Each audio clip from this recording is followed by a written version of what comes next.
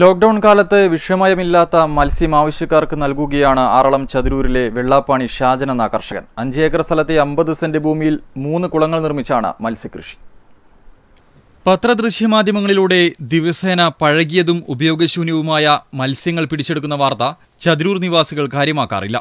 കാരണം തൊട്ടടുത്ത് നല്ല ജീവനുള്ള ഗിഫ്റ്റ് തിലോപ്പിയ മത്സ്യം ഷാജന്റെ കൃഷിയിടത്തിൽ നിന്നും എപ്പോൾ വേണമെങ്കിലും ലഭിക്കും. അഞ്ച് ഏക്കർ ഭൂമിയിലെ ഒരേക്കർ സ്ഥലത്ത് മുൻപ് നെൽകൃഷിയായിരുന്നു ചെയ്തിരുന്നത്.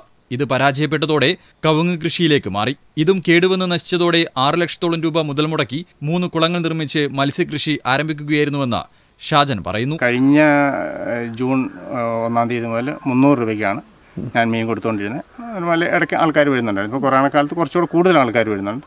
ഞാൻ വിലയൊന്നും വർദ്ധിപ്പിച്ചിട്ടൊന്നുമില്ല. മുന്നൂറ് രൂപയ്ക്ക് തന്നെയാണ് ഈ മത്സ്യം കൊടുത്തുകൊണ്ടിരിക്കുന്നത് രുചികരമായ മീനാണെന്നാണ് ഉപയോഗിക്കുന്നവരൊക്കെ പറഞ്ഞു പറഞ്ഞിട്ടുള്ളത്. ഫിഷറീസ് വകുപ്പിന്റെ പൂർണ പിന്തുണയോടെയാണ് പദ്ധതി നടപ്പിലാക്കുന്നത്. ചതുരൂരിലെ ആദ്യ കുടിയേറ്റ കർഷകൻ തോമസ് ആണ് ഷാജന്റെ പിതാവ്.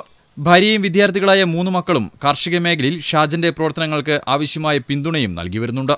ജലസമൃദ്ധി നിറഞ്ഞ പ്രദേശമായതിനാൽ വരും വർഷങ്ങളിൽ വിപുലമായ രീതിയിൽ കൃഷിയിറക്കാനാണ് ഷാജന്റെ തീരുമാനം. ഇരിട്ടിയിൽ നിന്നും ഷിൻഡോ തോമസ് കണ്ണൂർ ഉഷൻ.